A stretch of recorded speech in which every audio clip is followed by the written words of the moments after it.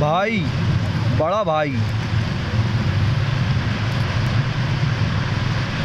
और का बोल सका तू? थैंक यू सलेक तो संडात लगी, यार तारीफ़ कर रही है बैठ